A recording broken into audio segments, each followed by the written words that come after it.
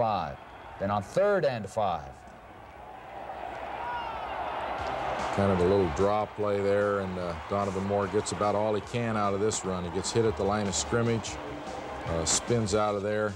You can see the drop play, and he does a, an excellent job here.